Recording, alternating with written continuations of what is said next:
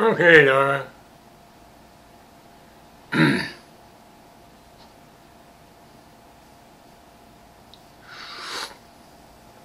the tea experts, the reason there's no tag on it is because it's birch tea. Still Tetley level.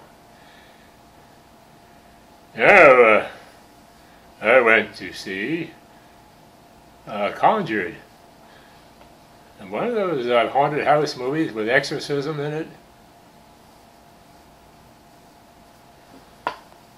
I guess it was pretty good. It, uh, some people liked it a lot.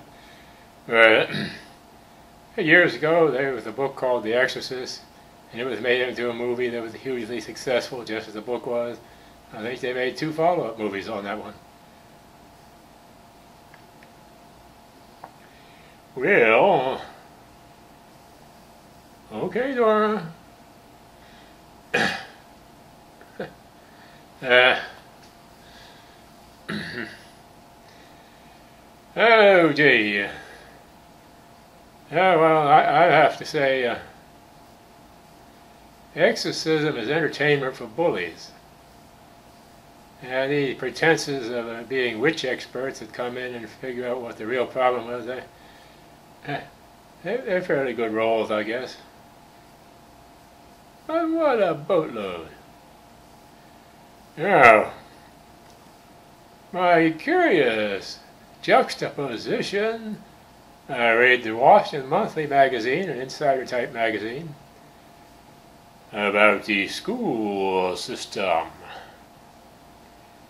It stinks. Compared to all sorts of other systems, it's not very good. You might even say, it's entertainment for bullies.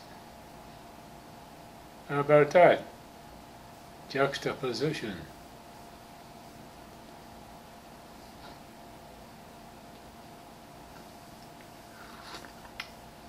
None for you, dear. You are. No.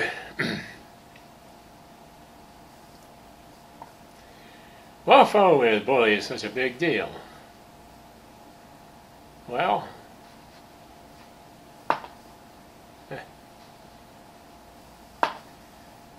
because they're bullies, I guess. So this is some punk movie review. But it's a real good bully review. Ready, Dora? Oh.